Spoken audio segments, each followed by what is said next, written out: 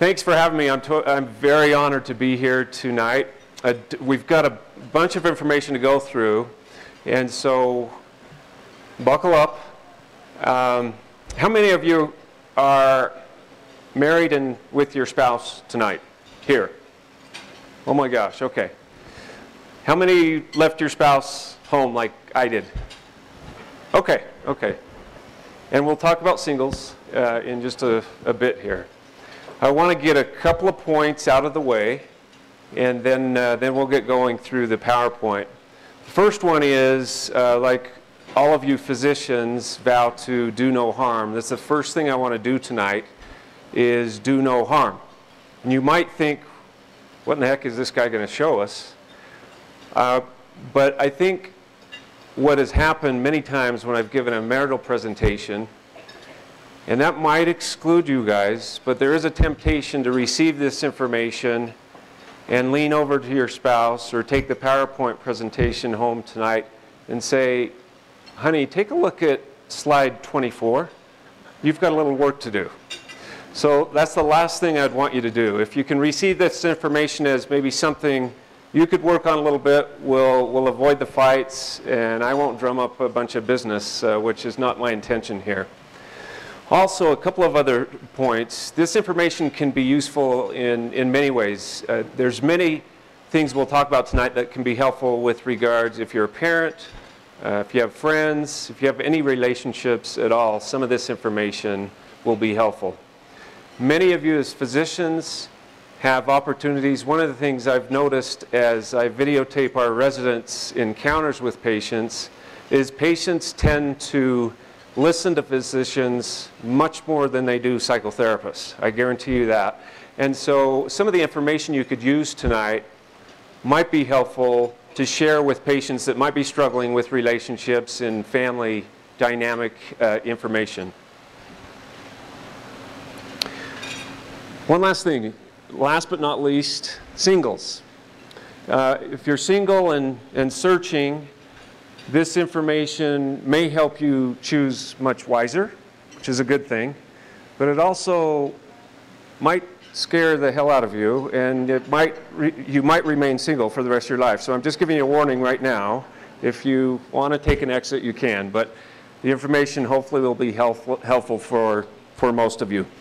Uh, let's have fun. I'd like to keep it somewhat interactive. This is kind of a, a, a, big group, but I might throw out some questions, and if I get some feedback back, I'll just re, uh, repeat it so everyone can hear. But I'd like to keep it uh, somewhat interactive as well. So let's dive in.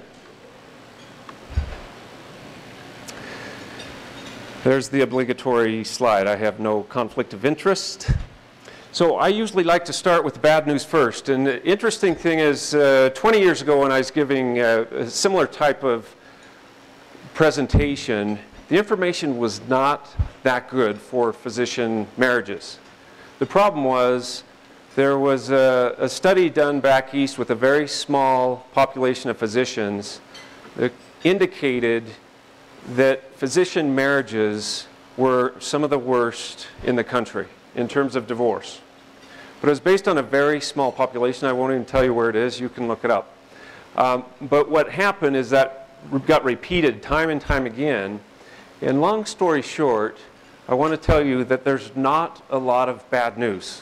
There's actually, the good news about the bad news is there's a lot of good news with regards to physician marriages. So, in general, physician marriages are trending much like uh, the general population. So, let's go to the next slide. The data is a little bit mixed. Let's read through this. Past research suggested that physician marriages were about 10 to 20 percent more likely to get divorced than the general population. It's not good news. But again, this was based on a very small study. Recently, I won't go into all the research, but recently they've looked at census data, which included hundreds of thousands of people. And what they found is that recent research suggests that physician marriages for the past 20 years are trending much more like the general population. And if you think that's a bad thing, you're wrong. It's a good thing. In general, uh, divorces, divorce rates are actually going down. Any guesses to when they peaked? Divorce rates. Anyone want to ye- yell out a decade when they peaked? Uh, the decade I'm talking about. 70s. Someone said the 70s. 19, no, you're fine. Uh, in the 1970s. And ever since then, it's been kind of trending down. And the research behind how they figure out divorce rates is very complicated. And, but in general, uh, we peaked in the, in the 70s around 45%. We've been trending down recently. So that's a good thing. There's two sides. Every marital therapist that tends to work with physicians, which I started working with physicians about 20 years ago. Uh, one of the concerns, and I think this is just general knowledge, is that the physician's workload and dedication to their job and the energy that goes into learning and their patient care and on call and all those types of things tends to take away energy from the family. It's kind of a no brainer. That, that generally is what what happens. And so there's kind of two sides to the coin of most physician life. They have qualities, you know, qualities that make for an excellent physician dedication to the pursuit of knowledge, commitment to patient, attention, attention to detail, thoroughness, willing, willingness to work for long periods of time can sometimes be so demanding that it takes energy away from the family. And that's where a lot of times we see some problems. That work life balance issue for a lot of physician marriages is one of the difficult things to navigate. Look at the recent divorce rates. You guys do not look too bad here. Non healthcare professionals, 35%, nurses, 33%. You can read down the list. Lawyers, we've got lawyers beat. That's probably a good thing, 27%. Physicians, all the way down to 24%. So this is based on census data and a report of whether or not you uh, have ever been divorced. So those rates will kind of slowly creep up as, as you age, but those are pretty good. That's pretty good data for physicians. And frankly, I just ran into this about a year ago, looking at this data, and it, it mildly surprised me. Other statistics physician marital satisfaction is strongly associated with time spent awake, not asleep, time spent awake with the physician partner. So, meaning the more the better on that one, and the number of nights per week on call. The less the better on that one. So, don't come to me about talking to your partners about on call weeks if you're having marital problems, but that's what the data suggests is time spent awake with your partner tends to be a good thing. Uh, a bunch of on-call nights tend to be more challenging.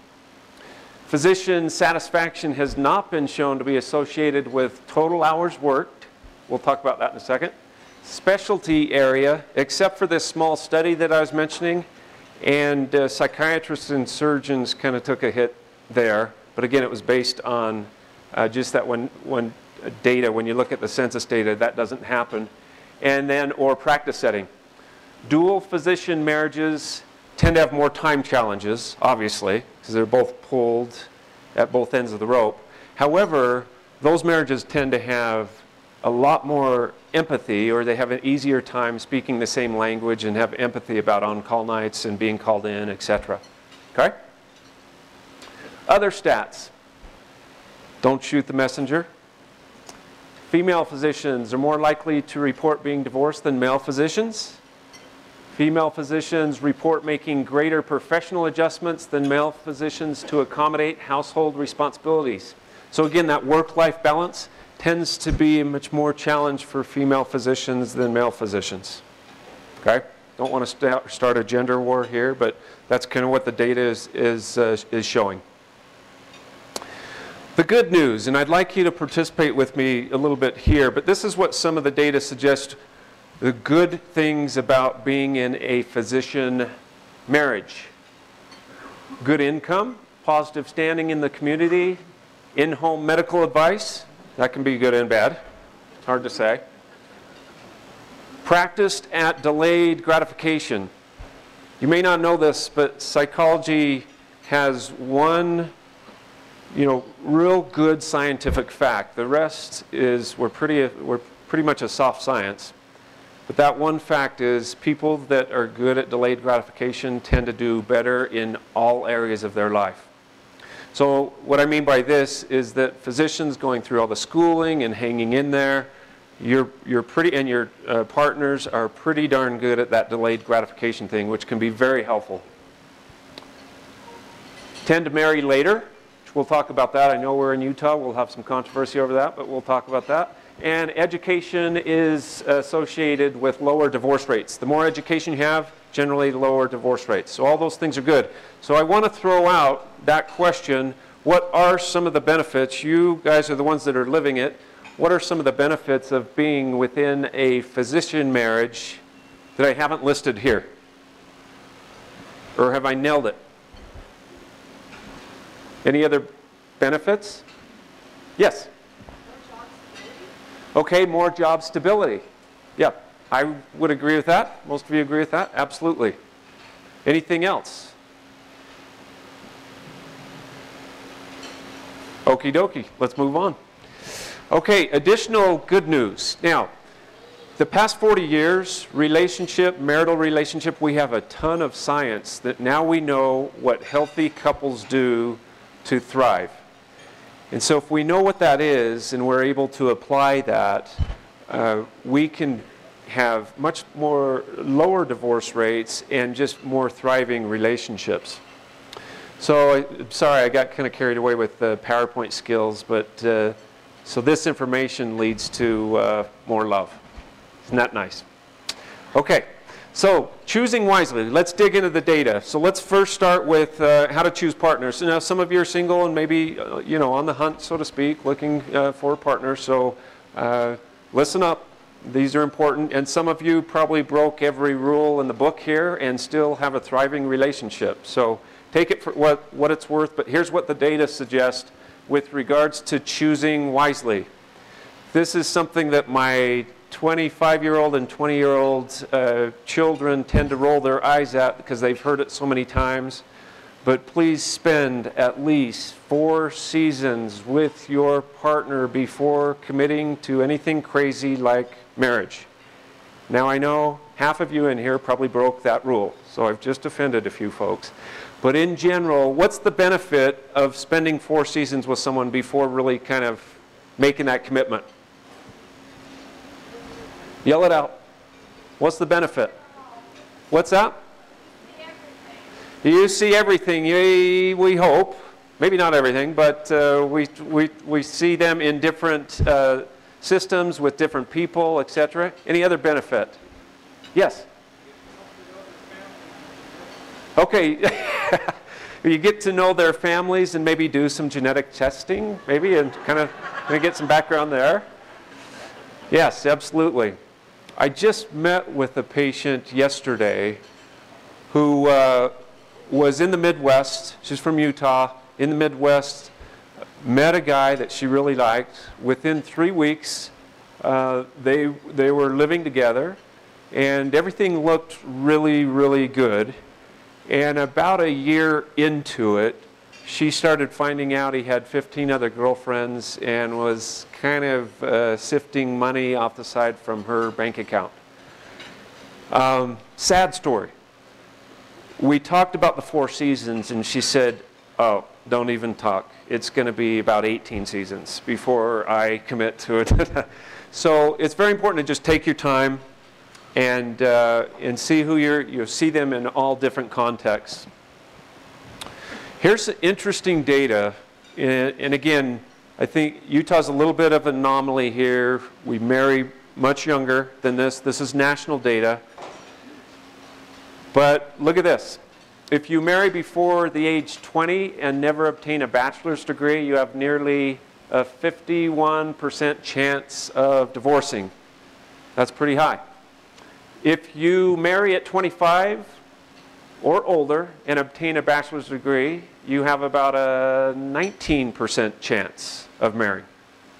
What are you seeing there? Those are some pretty large stats. When I first read that, I was like, what? So, what's your assumption? What might be going on there?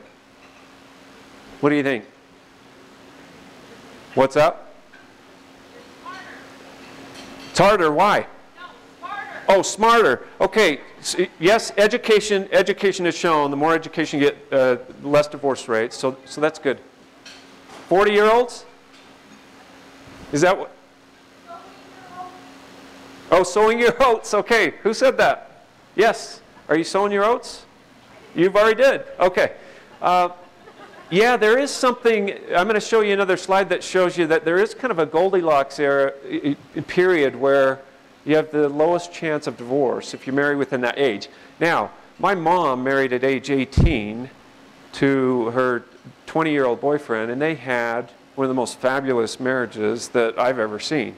So you have to be careful with stats, but these are just generalizations. Be mindful of major differences in socioeconomic backgrounds, age, religion, preferences, or uh, religious preferences, and cultural backgrounds. It, most people marry neighborhood spouses, meaning not next door, but in general, kind of similar cultural backgrounds. That isn't necessarily a must, but if you are marrying someone where you have major differences in those areas, you're going to have to work at it. You're going to have to communicate, you're going to have to work at it a little bit harder. Here's an interesting stat that I just ran, ran into, and this is uh, the Goldilocks effect here. So I know in the back, with my eyes, I couldn't read this, so let me, let me kind of point this out. So this first little uh, band right here, this is estimates of divorce within the first five years of marriage for the first marriage, okay? So this first blue line right here i- are people that are under 20. So within the first five years of marriage, they almost have a 40% chance of divorce. Fairly high. This uh, yellow mark right here, 27%, those are folks that are 20 to 24. Okay, still pretty high, but it's going down. Looks like the area right here, this area right here is pretty good. And that is 25 to 29. Is that? My eyes are going on me. And then the other green one right here is 30 to 34. There's, uh, that obviously doesn't mirror uh, Utah statistics, but this is kind of national data from 2011 to tw- 2013. It, what's kind of interesting, maybe you can tell me what, what do you think is happening here, but we have a little bit of a curve that goes right here. What's your guess? What's going on there? So we know marrying young is not the best idea because we grow, we change, etc., and, and a lot of things change during those years. But what do you think is happening with a little bit of a bell curve starting to happen? Any? Yeah, yeah, there's a sweet spot there for sure. But as we get a little bit older, what might happen? Why does that become a little more difficult? Yes, set in your ways. It's hard to blend blueprints, so to speak. So, doesn't mean that you have to go home and put this in front of your teen's face, uh, you know, and really kind of go through this. But in general, that's what the data is suggesting: is that there is uh, somewhat of a, a Goldilocks effect there. There's a there's a good age to marry. marry. Let's look at choosing uh, your partners wisely. Here's various traits that are very helpful. And I'm just going to put them up here and then we'll briefly talk about them. They look like Girl Scout, Boy Scout types of uh, uh, traits here. But the number one predictor of marrying a good partner is the number one item right here if they're kind and generous. And that can be measured in a lot of different ways, but that always comes out as being a, a very good pr- predictor for marriages that can thrive. The other one's open mindedness and ability to compromise. That, that's kind of a no brainer. Non defensive and approachable. Let me ask you a question. Who gets to determine whether or not you're approachable? Other people. What do you think? Who gets to determine that? It's a trick question. Else. Yourself, okay, we get to determine the behavior, but who gets to define whether or not we're approachable?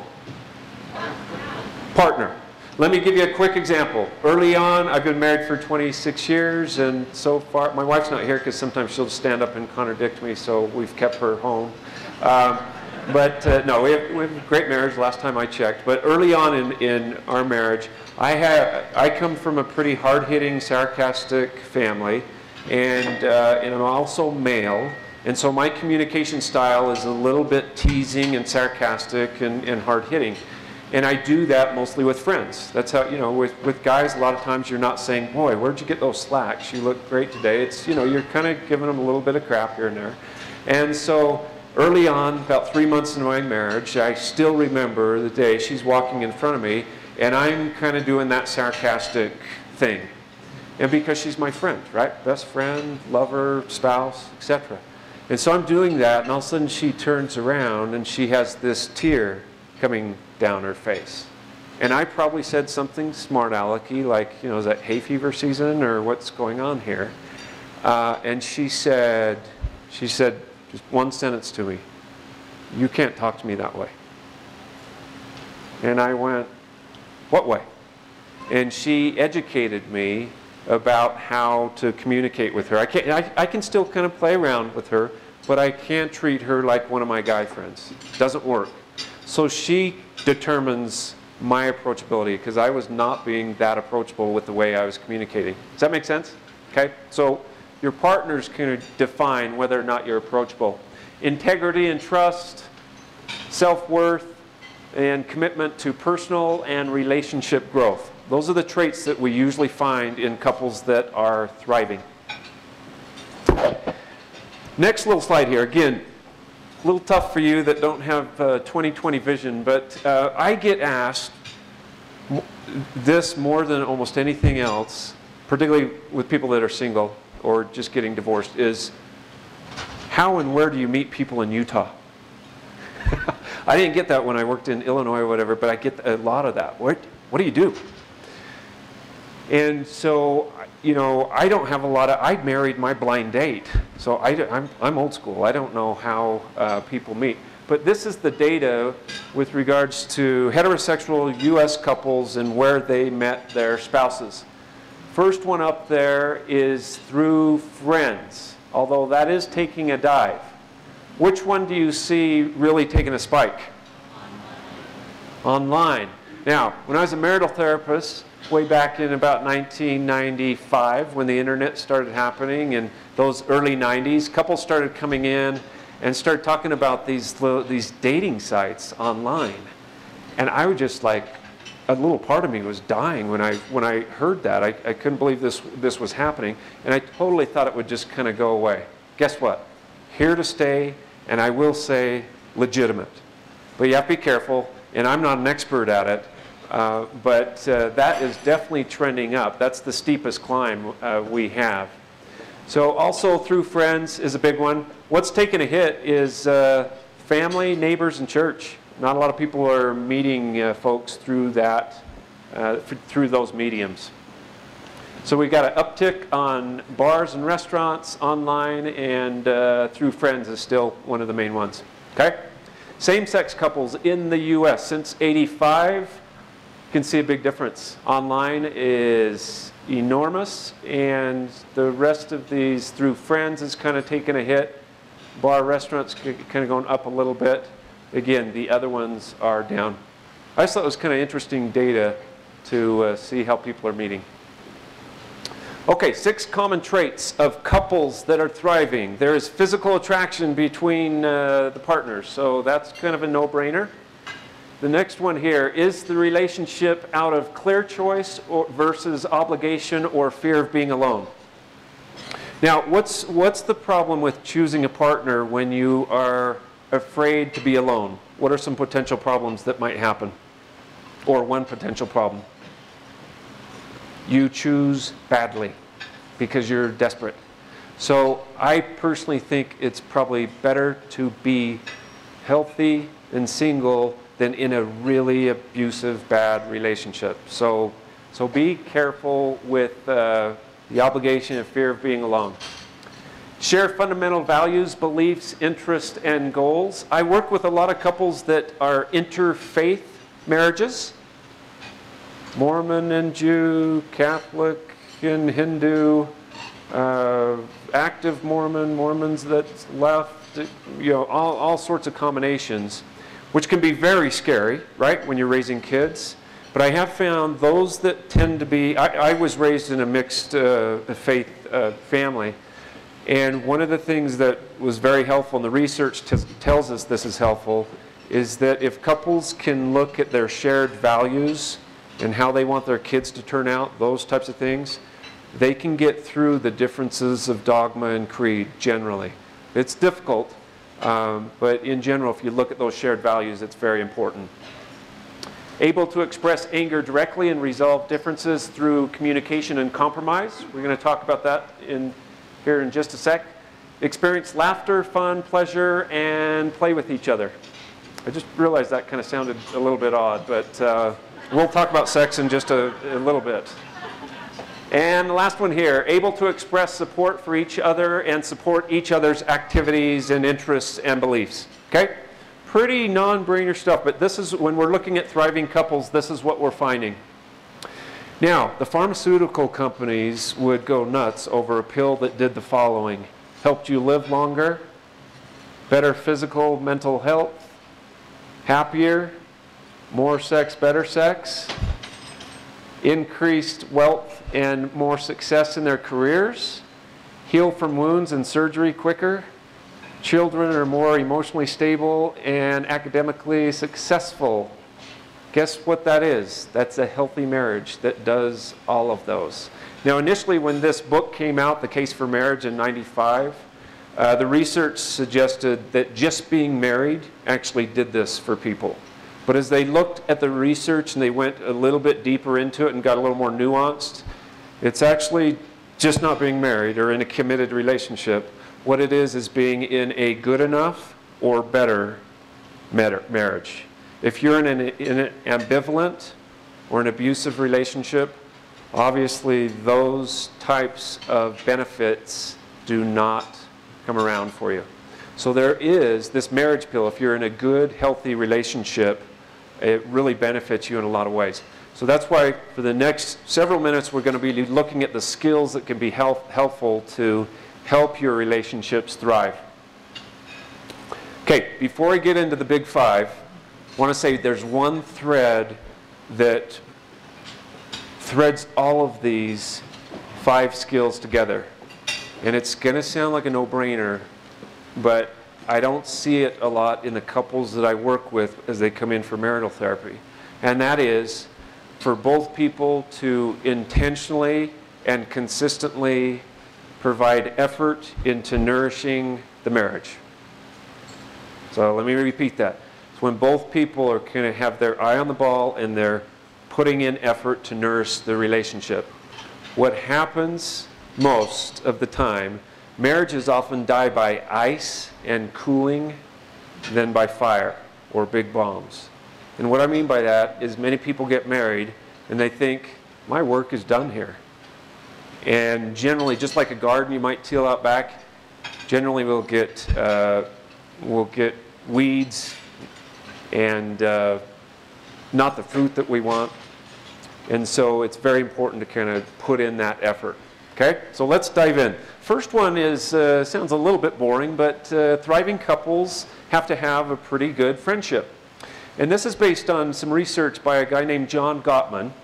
Some of you have probably heard of him. He is a, a mathematician out of University of Washington and became a researcher in couples. So some of the data I'll share uh, with you tonight is, is from his, his uh, work. But in general, when we're dating and we're in courtship, we're you know, we're showing interest, we're asking a lot of questions, and we're putting money in the emotional bank account. We're just, we're doing all the things. We're putting our best foot forward. But a lot of times that starts to fade. And so you want to kind of keep that going. I'm, I'm curious by raise of hands, how many of you have uh, heard or seen this formula, 5 to 1, positive to negative interaction rate? I'm just curious. Okay, okay, about maybe a quarter of you. So this is interesting data from John Gottman, and this actually relates with most relationships. Thriving relationships, at the very least, have a 5 to 1 positive to negative interaction ratio. So meaning, now positive doesn't mean that you're running home and giving a big hug and roses, etc. Okay? It might mean, hey, did you read about Trump in the paper? Oh, yeah, it's crazy. Might be something as, as just normal as that, but you're just you're interacting with one another. Now, this does not mean that healthy couples tend to do th- those five things and they can land a zinger and then go on to another five things. Those couples are not in good shape. Generally, healthy couples are around 200 to 1, so to speak. Okay? So be careful with uh, just thinking, well, I got that five in today, and now maybe I can really tell her or him how I feel. So be careful with that one. Beware of the four horsemen. Know, this, this is interesting data because couples that are skilled at uh, these four things right here, the four horsemen, have a 93% chance of divorce. Did I wake anyone up? So, okay, so this, this is a big deal. Now, most of us do these four horsemen maybe monthly, and that's okay. Doesn't mean you have to go home and do them now. But if you're living this way, they can cause major problems. So I've got a separate slide for the four horsemen that I'll come back to and we'll go through it. And then in general, small little steps make profound differences. Believe it or not, one of my homework assignments to some couples that have been just disengaged for years is, uh, you know, if I'm meeting with one of the spouses, is why don't you go home tonight and just give your spouse a seven second kiss when you greet her or him? Now that might sound like, well, yeah, what's that going to do? Well, I'd say nine times out of ten you'll have a better night than if you just go home and go, what have you been doing tonight? you know, looking around at that dirty room. So small steps can make a big, a big difference. So let's look at the four horsemen here. Criticism, defensiveness, contempt, stonewalling. This is almost the anatomy of divorce. So the first thing that usually happens is criticism. Criticism is different than feedback to your partner. We all have to give feedback to each other about our behaviors. However, criticism is kind of a character assassination of the person. It's name calling. It's saying things like, you're just like your mother. Uh, those types of things that really kind of characterize the person and hurt their character. Versus feedback like, hey, you were late last night. I don't appreciate that. Can you change that behavior? That's different. So criticism usually comes first. And then a lot of times defensiveness will come around because if there's a lot of criticism, a lot of times people are going to start feeling like, boy, as soon as that garage door opens, I gotta be, I gotta be ready. And if you're feeling defensive a lot of the times, what happens next is the feelings of contempt for one another. And that's basically just feeling disgust for your partner. Now, we've all rolled our eyes, but if that's a habitual thing for you to do, even metaphorically, like, oh my gosh, not again, uh, disgust and contempt is kind of, you know, maybe floating around in your soul a little bit. We've got to be careful with that. The last step that generally happens is stonewalling which is basically just emotionally checking out. So it doesn't take a rocket scientist or a mathematician to figure out if those four things are going on quite consistently with you, you do have a really high chance of divorce. So it's very important to try to change some of those behaviors. And we're going to be talking about things that you can do if you are doing those. Okay? So that's the first one friendship. The next skill is to avoid the divorce landmines.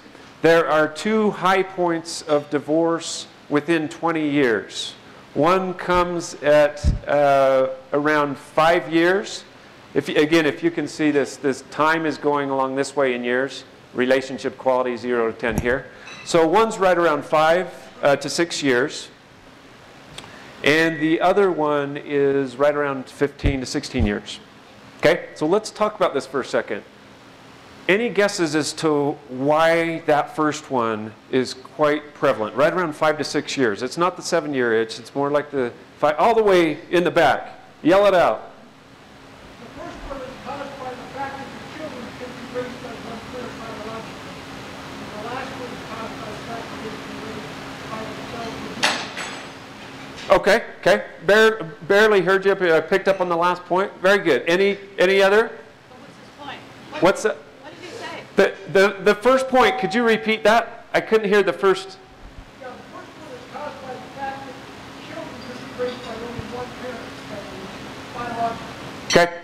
So uh, children might be an issue here. What the researchers have found is that a couple things happen. So let's look right at the beginning here.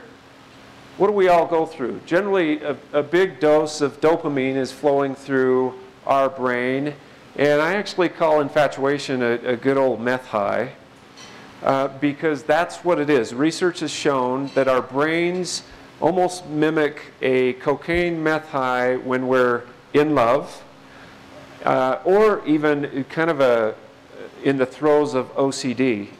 They have found that people that are in that first infatuation love stage, which is great, it's good stuff. It's, you know, if you could sell it on the streets, you'd be, you'd be quite rich.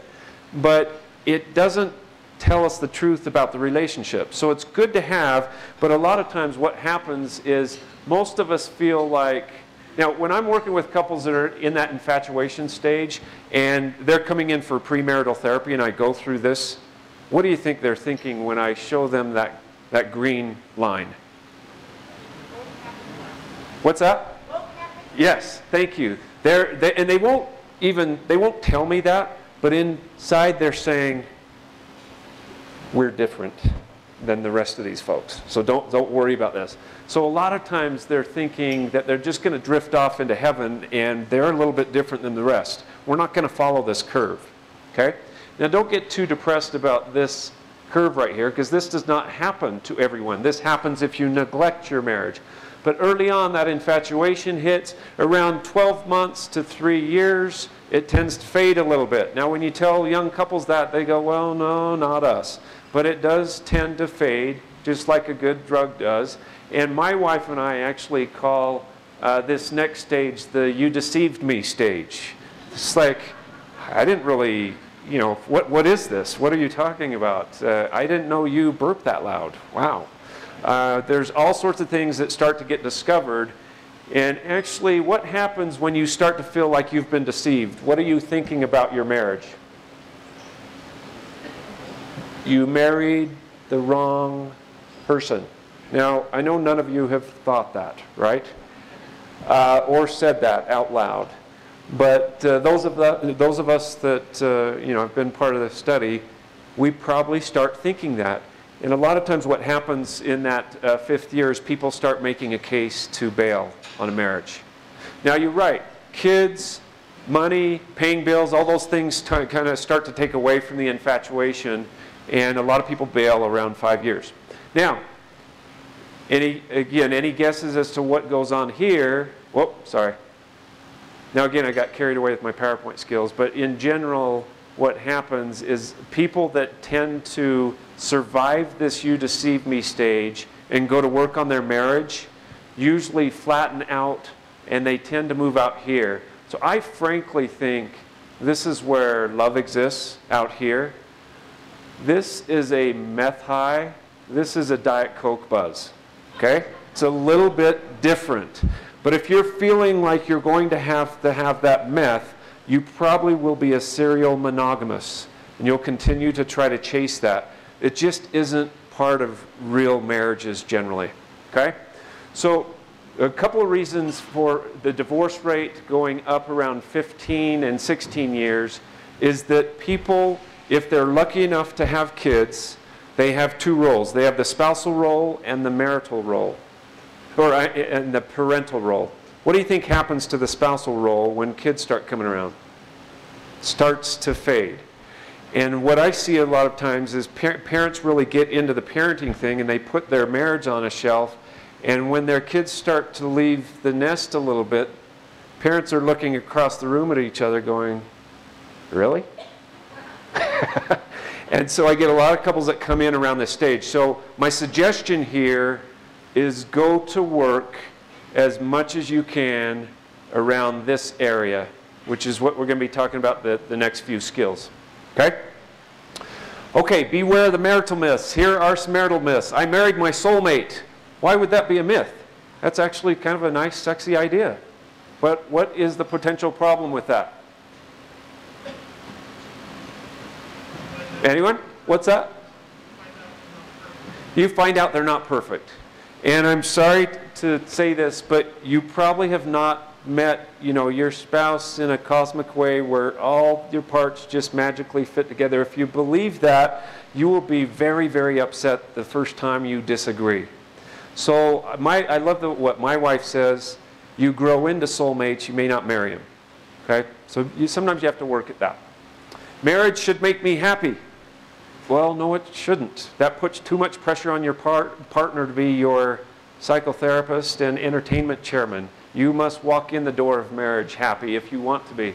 Conflict in marriage is harmful and should be avoided. I had a couple recently that had been married for 23 years, had sworn to me they had never raised their voices and never had a fight. And they're talking to lawyers right now. They're getting divorced. So, what happened to them? They imploded. They weren't able to communicate. Okay? We'll, we'll talk about communication in just a second. Loneliness and boredom will be cured by marriage. Again, that's setting your partner up to be your entertainment chairman. That's dangerous. We must do everything together to stay happily married. I don't know about you, that that gets my gag reflex going a little bit. I love my wife to death, but I like to do things on my own as well. Children will hold a failing marriage together. I love my two kids, but the research indicates the more and more kids you have, the more you really have to work on your marriage. So, so be ready because they are challenging. It takes a lot of energy. And then loving behavior should only be done when it feels genuine and natural. Uh oh, this is where I'm going to get in trouble. Uh, in general, females kind of believe this a little bit, and guys are going, I need a cue card, honey. I'm not quite sure what, uh, what you need and want. This is a little bit dangerous because sometimes, if you live with one another for 20 years, you're going to start to get this. But a lot of times, we sometimes need to tell each other what we need and want. You did not marry uh, your, you know, you, a mind reader. And the la- last one, a, a sure sign of true love is if my spouse instinctively knows what I need and want in a relationship. So be careful with that, right? Mother's Day and Father's Day, we often have a lot of fights around that. Like, how could you not know this? So be careful with the marital myths. By raise of hands, how many of you have read or are familiar with the five love languages? Oh my gosh, look at that, half the crowd. This is a Utah favorite book. And as physicians, you should at least be aware of it. So if you have patients that are struggling, that is one thing you could be you could just kind of suggest go read that five love language book uh, by Gary Chapman. Very simple uh, book. Here's the metaphor. We all have love tanks inside of us. When our love tanks are full of love, we tend to interact with one another and we feel safe and trusting. Great. But when our tanks start to get a bit empty, we often fight much more and conflict starts to ensue and people start to drift apart. So here's the trick is not everyone speaks the same language or has the same fuel needs that you do. So let me give you an example. So here are the five, I think there's 500 love languages, but uh, Gary Chapman uh, hones them down to five. First one is quality time. That could be anything for a, a, lot of folks. For my wife, that would be sitting down and talking about her third grade class. Okay? Not my favorite topic on the planet. In fact, it's down about 500. Okay? But nor is my topics that important to her as well. So quality time is a little bit different. For guys, a lot of times it's, you know, I just want my partner to go skiing with me or fishing, etc. So it's a little bit different. Acts of service is just doing things for one another.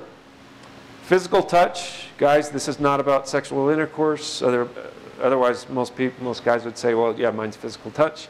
Uh, physical touch is proximity, uh, cuddling, just holding hands, those types of things. Gifts is, a, is pretty self explanatory. And then words of affirmation are just kind words to one another. Okay? Let me give you an example. My wife, very high on uh, words of affirmation and quality time. Now, as I take the little uh, quiz that Gary Chapman has, those two are my bottom. They're at the bottom of my list. I am a strong acts of service person. So Here's the trick. Most of us give the love that we want to receive. So, an acts of service guy like me, I'm vacuuming a lot and I'm doing a lot of work. And, and then occasionally I'll get my wife say, Are you into me or you do love me? And I'll be going, Are you kidding me? Have you, have you not seen me do all this work? So, what is happening there is I'm filling her full of the love that I need and not necessarily what she needs. This happens in every marriage. So I would just suggest, we won't belabor the point here, but if you leave with one thing tonight, it would be this little phrase right here and try to fill in the blanks. When I do blank, my spouse feels loved. Now, you can go online and take this 10 page assessment to find out your love languages. I would suggest you don't need to. You could simply turn to your spouse now, we don't have to do it, or go home tonight and ask them, when you, you know, when was the last time you felt kind of loved and appreciated by me? Uh, last year, sometime. Really? Okay. Uh, what was I doing? And you will start to figure out what her love, his love language is. Does that make sense? And it doesn't mean you can be tri bilingual. I mean, there's all sorts of ways to do, to do this. But that's one phrase I suggest most couples uh, address with one another. And in general, you want to be asking, when people read that book, by the way, they read it wrong. And, and here's how they read it they read it and they start highlighting it. And who are they highlighting it for? They've got it dog-eared and everything. They leave it out, you know, kind of, you know, by the coffee table. It's dog-eared, and honey, you ought to check that. It's all the things that their partner should be doing. Okay, that's not the best way to read it. You should be reading it as what are some things that I could do a little bit different, and then a lot of times you can get that reciprocated. Okay, makes sense? Has anyone had uh, some success with the five love languages just in their own personal marriage? Okay, pretty simple idea. And uh, if you're struggling a lot, that's one of the first places I would go is what could I do a little bit different that might be helpful and see if we can get things rolling on the, on the marriage front. The last little piece here. So I've got Dr. Phil up there uh, for a reason. And this is one of my favorite ideas because it's helped me quite a bit in my own marriage. And that is um, we all have recipes in our head, lists of how we think life should be and how people should behave. And these come from our genetic background, from our socioeconomic background, religious background, political, etc. And they're listed in our heads from most important to least important. Okay? So, uh, for instance, and, and so what happens with a, with a lot of couples is when we are first married, we often call marital therapists call that, those the blueprint wars, the first three or four years, because you're bringing in uh, different blueprints and trying to blend them. The worst fight my wife and I ever had was our first Christmas. It was a couple weeks before Christmas, and it was in a Christmas tree parking lot in Provo, Utah. And it almost came to blows. And it was about whether or not we were to get a flock tree or an all natural tree, which is what our family did, and that is the truth. Uh, and it got kind of nasty. Now, that is a great example of a blueprint issue. Now, couples that start to believe, as an individual, if you start to believe that your blueprints are the truth and not opinion, you will start to have more conflict in your life. Now, I'm not saying there aren't facts and truths in life, and, and not all recipes are created equal. But if you start to feel like, again, your recipes are the truth, we usually communicate like this just shut up and listen to the pearls of wisdom coming from my mouth and receive them, and everything will be okay. That's generally how we, we react or uh, communicate. Versus couples that view their recipes as recipes usually communicate way better and with more humility and more compromise. Now, I'm not saying there aren't deal breaker recipes. I had a couple about five years ago, a local couple, where she was uh, of the uh, Mormon faith and high up in the, the leadership. and uh, he was not, and he, he had about a 10 by 20 plot of pot in his backyard. Are there any officers here? I'm not going to tell you where, where these people live, but, uh, but he, uh, he was growing a, a pretty good uh, stash of marijuana. That was a deal breaker recipe for her, okay? So there are, there, there's deal breaker recipes that occur, but I would say a majority of divorces are based on uh, recipe clashes that could be resolved in general, okay? So think about, think about that for a second. Let me just give you a, a, a couple of examples. So I grew up in a clean freak home where my mom uh, had me vacuuming at age five. I mean, just, you know, all over the place. And so vacuuming is kind of a, like a top five recipe for me, okay? It's up there. Now, my wife is way more clean, orderly, structured uh, than I am. I'm kind of a mess. However, uh, her recipe for vacuuming is probably around 250. Okay, it's down there. Now, let me ask you a couple unfair questions, trick questions. Who do you think does most of the vacuuming? Yes, I do. Yeah, of course. It's, you know, I jump out of bed and go, where's the Hoover? You know, so it's, it's way up there. Uh, now, is that fair? I knew I'd stump you. Is that fair? What's that? Okay, it doesn't have to be fair, it just has to work, very pragmatic. Some people said yes. No, I think it was a female voice, by the way. Um, yes, yes. What's up? It's important to me. You got it. So here's the, here's the trick. Do you think uh, I have ever converted her to enjoy the Hoover like I do? No. I mean, I've, I've shown her different styles and different ways, and she's still not getting out of bed going, Where is it? You know? So that's one of the things, and, and if you think about some of the recipes that are going on in your own relationships, it happens all, uh, all the time. So you know, beware of those. And if you, the more you can put those above the table and talk about them and negotiate a little bit. Now, if I ask my wife to vacuum, nine times out of ten, oh yeah. But I can't just demand that she becomes me. And as uh, marital partners, we have to realize that we did not marry our identical twins. They have different recipes, different blueprints, and if you get those on top of the table and talk about them, you'll be able to respect one another and hopefully you can navigate some of those types of things. Okay? Does that make sense? Can any of you think of any blueprints that are going on in your current marriages that you want to share? Come on, someone be brave. I just I just exposed my vacuuming, you know, fetish. So, what's that? No fake trees? You have you have that? What about, does Santa wrap presents or does he just lay them around?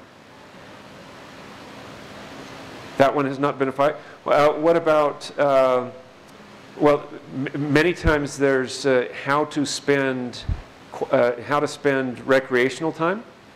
Or do you work before play or play before work? There's all sorts of recipe differences that are important to talk about and try to do your best uh, to uh, not look at them as necessarily truth. Holidays, here's some examples. Holidays, leisure time, likes, desires, religion, parenting, those are all fair game to be talking about as opinions uh, versus truth. Okay? All right, I think that, uh, yeah, that, those are the big five. So we got friendship, avoid the divorce landmines, beware the marital myths, love languages, and recipe wars. With, again, the thread that if you're intentionally trying to nourish your relationship, you'll be in better shape than those that are just sitting back. I've listed a few books that are some of my favorites. We don't have to go through all of them. Uh, if your marriage is sex starved, you can go buy that one uh, by Michele Weiner Davis. Um, the medical marriage is a little bit dated. I think there's a new edition that is quite helpful. This is John Gottman's book. It's quite good. Latest research that I quoted uh, comes from uh, this book for better. There's the old five love languages. So hopefully this information has been helpful for you. Uh, before I get off the stage here, any questions that uh, you have that I can try to answer before I depart? Yes, right here. This, fa- this fan is noisy. Blended families, when you get remarried, have Yeah, blended family. So you know this recipe thing? That you, you, you have to turn up the volume on those efforts quite a bit with blended families because you're, you're blending great big blueprints with past history, etc. Uh, assets and finances are, are a big deal. Uh, actually, Utah State University has a nice consortium of information on their website of step parenting, step family information that's probably I think some of the best in the nation. If you just go onto their website, they have a website on step family information. But it's a, it's a big process, it's very difficult. And I would say this, that the best gift you can give your kids, whether they're biological kids, step kids, adopted, etc., is a good marriage. A lot of people think that they just drift off into parenting, but nurturing that marriage is one of the best gifts you can give. So, yes, Yeah, we need to go to the mic. Oh. Questions, questions to the mic?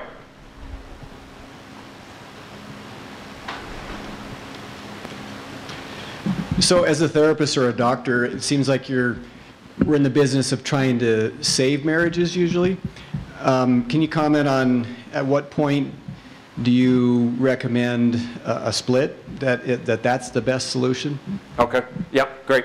Uh, In, in general, yes, I'm very, and I tell couples this right up front. uh, I, I got in this business for a reason, and it's generally to, to save marriages. Uh, However, there, there's two instances for sure. Uh, Domestic violence, when that, when it becomes uh, quite prevalent, and it doesn't look like it's going to end, uh, not not good for the kids or any anything anyone else. And then uh, heavy drug alcohol abuse. Uh, generally, if that's if that's getting really messy, those are two areas. If those aren't changing, I'm usually you know asking them what what's the point of staying in this. I will say this: when when couples do have kids, uh, I do try to push as much as I can because kids generally do better. They, kids don't care that much if you're fighting. They don't want to hear it, and they don't care, you know, how romantic you are or anything like. They just want access to both of you, and so I usually push parents to really try if they do have biological kids that are pretty young. But those are generally the two areas: uh, domestic violence and uh, drug and alcohol abuse. Yes. Question, uh, if you have a patient in your um, office and the, and you tell them to go to counseling, they say, my husband absolutely will not go to counseling. Yes. Do you still recommend they go to counseling, or is there any way to influence the other spouse to come to counseling? or- Yes, fantastic question. A majority of marital therapy that I do is with individuals. Unfortunately, I'd, I'd prefer it other ways, but it's just not practical. So the research is very clear. Uh, there's an article out of a, a psychotherapy journal called uh, "It Takes One to Tango," and, and it's all about the research that suggests if you get because couples are a system. If you can change one person, it sometimes will have a ripple effect on that other person.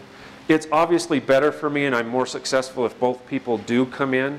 But if someone's totally being dragged in, I just soon maybe just talk with the person that really wants some help. And a lot of times they'll have, it doesn't sound fair, and it probably isn't, but that's the customer that really wants some help. And so I will work with those individuals. And believe it or not, uh, quite a bit of success can happen that, that way. But in general, if I can have both partners there, it's the best. Yep. But I would still recommend it for individuals to at least go talk, talk with a, a therapist about that. Any other, any other questions? Okay. Hey, thank you for your time. Enjoy your evening, and thanks for having me.